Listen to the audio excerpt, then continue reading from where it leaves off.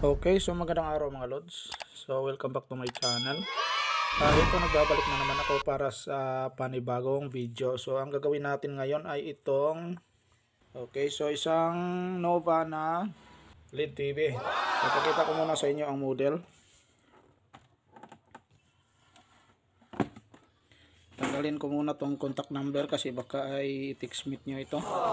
Chicks pa naman ang mayari nito. Magandang dilag. So ito yung model niya. Yan.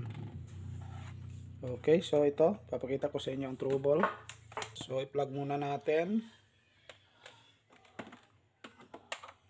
Yan.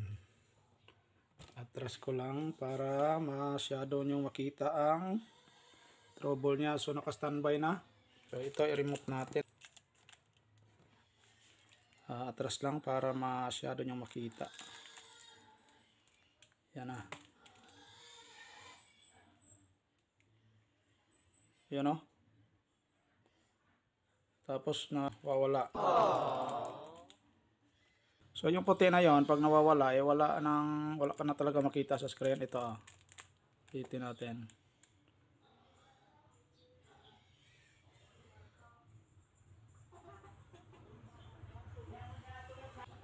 Oh, yan ah. Wala na. Okay, so yun ang trouble niya mga lods. Uh, buksan ko lang to. Okay, so mag voltage checking muna tayo mga lods. Uh, turn on ko muna ang power dito. Nagkasaksak na yan. Tapos uh, nawawala na ang red light. Yan, milaw ng mga backlights VIN niya dito sa fuse so yan na may 12 sa fuse. Tapos ang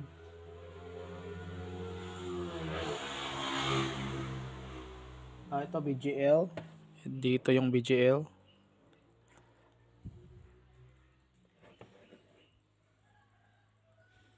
so fluctuating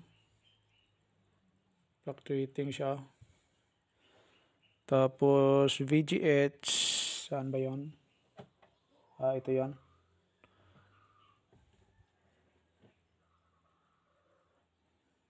ah, moving pa rin. So fluctuating. Then dito yung VDD nya ito moving pa rin to. Moving talaga fluctuating. Kapag nag-fluctuate yung isang supply dito, halos ay mag-fluctuate silang lahat. Ah, ito ay HVDD. So, ang next na gagawin natin dito, i-ano natin to, i-disconnect natin to. Disconnect muna natin tong papunta sa top board. Uh, dapat naka-off ang unit bago ako mag-disconnect nito, i-unplug ko siya talaga. Uh, hindi yung naka-standby para lang makasiguro na walang mag-short dito. So ito naka nakatanggal na yan. So turn on ulit natin. So check natin ang VN 12 uh, VGH so meron siya. Hindi nag-fluctuate uh, VGL so negative 5 tapos VDD 15 volts. HVDD 7.85 So hindi naman nag-fluctuate na tinanggal natin ito. Okay? So walang problema ang Pico natin. So good lang ito. Turn off muna natin. Okay. So nandito sa top board ang problema nito. So babalik lang muna natin to. Babalik lang muna natin siya. Dito tayo sa top board. Okay, so dito mga lods, uh, ito ay uh, ginawa ko na siya. Hindi ko na lang uh, pinapakita kasi para hindi tayo masyadong haba ang video. Sasabihin ko na lang ang ginawa ko dito. So, ah, sinusundan ko yung mga clocking signals niya ito. So, galing dito, yan, yung mga signals. Nakaparalel yan, pumupunta yan dito sa gilid.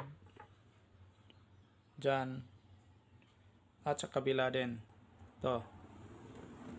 Oh, so, ganyan lang ang pag-trace ng clocking signals kapag walang nakasulat. Kasi nakaparalel lang yon sa mga cough. So, bago sila pumasok dito sa cough, yan o. So, bago sila pumasok dyan, dumaan sila nitong mga maliliit na resistor. Yan o, ito. So, ang una kong ginawa, tinanggal ko itong mga resistor na ito. 100 ohms na resistor ito. Kaya ito ay 100 ohms na resistor. So, una kong tinanggal yung dalawa dito. Dalawa, tig dalawa, dalawa. So, naubos ko na lang sa pagtanggal. Ah, walang nangyari. Walang pagbabago. So, binalik ko. At sa dahil ay napakaliit nila, yan o. Hirap pagbalik. O, pag ah, ipit ko sa tweezer, ah, yung iba ay tumalsik. Kaya ito, pinalitan ko na lang ng malaking resistor, hindi na SMD. Ah, sobrang liit nila. Sa kabila, ah, dahil ay walang pagbabago dito, so lumipat ako sa kabila. Ang kagandahan kasi nitong top board na ito ay ang clocking signals pinadaan pa ng mga resistors na mga SMD ito. So pwedeng ang gagawin nyo, tanggalin nyo na lang yung instead na mag-cutting kayo, tanggal na lang kayo ng resistor. So dito ah, tinanggal ko, dalawa-dalawa din. Tumalsik, pagbalik ko, tumalsik rin yung iba. Oh, so dito ang tumalsik, dalawa. Isa lang dito ang may problema. Okay? So ang may problema dito, ito. Ito resistor na ito. So sim ah, siyempre tumalsik yung dalawa dito. So nagbalik din ako ng dalawa. Oh, pero inisa-isa ako. Tapos testing. So tatanggalin natin ang resistor na ito. Papakita ko sa inyo ang resulta. Siya nga pala ang ah, ang panel na ito ay walang side cuff siya. So tatanggalin muna natin to.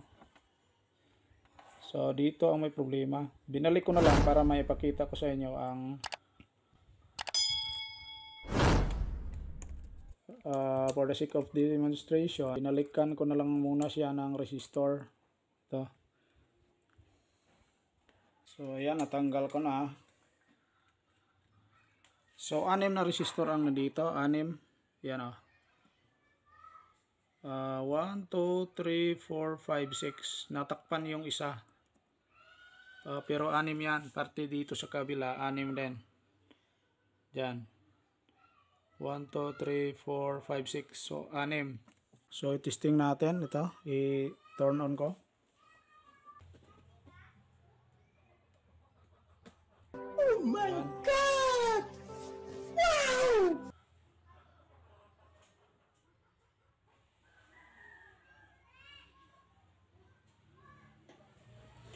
Takpan ko lang ito mga loads. Tapos mag-final testing tayo. So, yun lang ang solusyon. Okay mga loads. So, final testing tayo. Dito na. Ah, naka-plug na yan. Yan, naka-standby oh. Tapos i-power natin.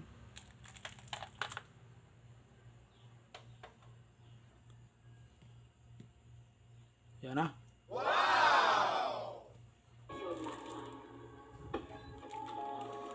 Huwag lang nating patatagalin kasi baka mahidsya tayo nito. Yan. So, napakalinaw na niya.